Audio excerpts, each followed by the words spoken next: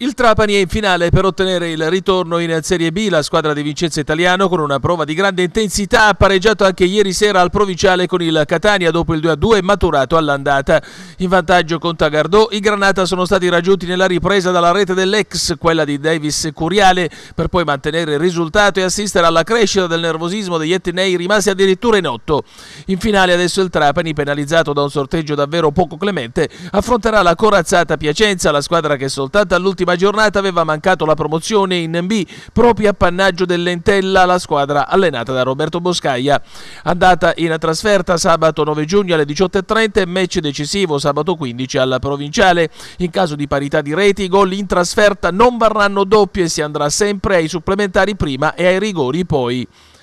E passiamo al calcio a 5 femminile, come in semifinale il Castellammare pareggia 3-3 nella gara d'andata e domenica prossima, superando il futsal Vision Ray Catanzaro, avrà la possibilità di approdare nel campionato nazionale di Serie 2.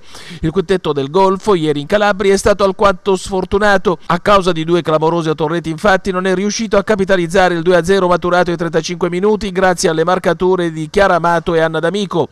Catanzaro riesce quindi ad effettuare il sorpasso, ma il Castellammare, con tanto cuore e dinamismo, acciuffa il 3-3 finale con un tiro ad incrociare della balestra Tese Piccolo.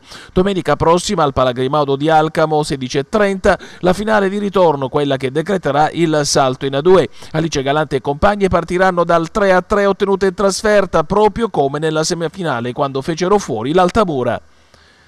E chiudiamo con l'automobilismo, nonostante l'arrivo di numerosi piloti da altre regioni e il ritorno di Peppe Gulotta, il busettano Giuseppe Castiglione vince ancora e si aggiudica il diciassettesimo slalom del Lago Redicino, prova valevole per il campionato italiano. Alle sue spalle Salvatore Venanzio e proprio il suo compaesano Giuseppe Gulotta, entrambi su Radical SR4 Suzuki. Il vincitore su Gloria C8P 1006 Suzuki, campione italiano in carica, aveva quindi interrotto il suo anno sabbatico per essere pista nella gara di casa e dimostrare di non avere perso smalto e voglia di fare bene.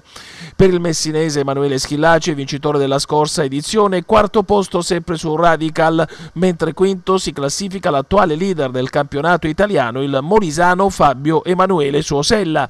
Nella top 10 anche il mazzarese Girolamo Ingardia, il pacecoto Michele Poma e il custonacese Vincenzo Pellegrino.